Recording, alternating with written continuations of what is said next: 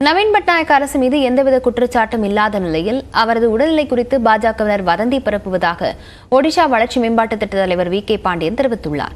ஒடிஷாவில் பரப்புரையின் போது news eighteen Tamil Nadu தொலைக்காட்சியின் செய்தியாளர் ஜெனிஃபருக்கு அளி- அவர் அளித்த பிரத்யேக பேட்டியில் இதனை கூறினார்.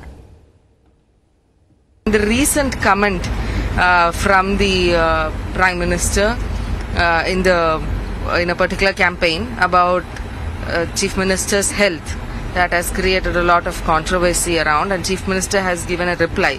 So, what do you have to say about it, sir?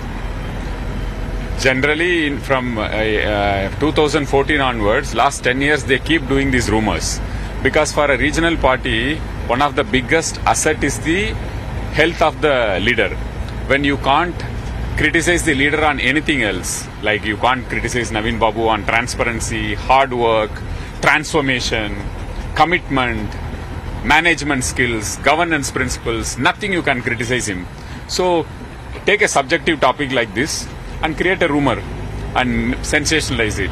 And then every time Honorable CM or somebody else has to come and say, oh, this is just a rumor, just don't bother.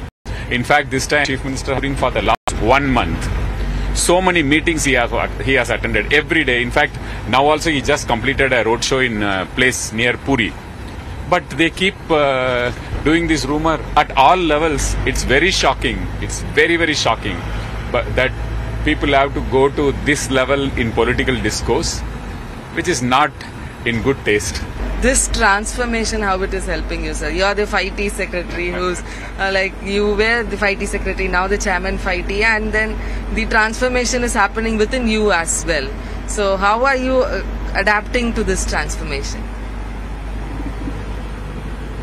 I think I'm adapting uh, pretty well because see, I'm smiling today after all the attacks on me. And uh, basically, if your heart is in the right place and if you don't have ego and you are clear headed, what you want, what you are going to do. Here, I am here to help the Chief Minister to get his next term, Naveen Babu to get his next term. However, physically, mentally, emotionally, I can be useful to him.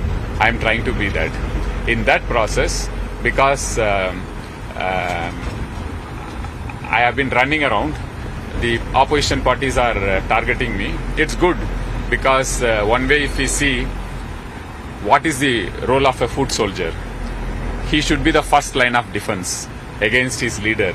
Here it is Naveen Babu.